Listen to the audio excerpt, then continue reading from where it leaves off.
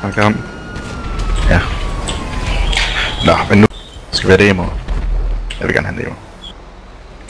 Jørgen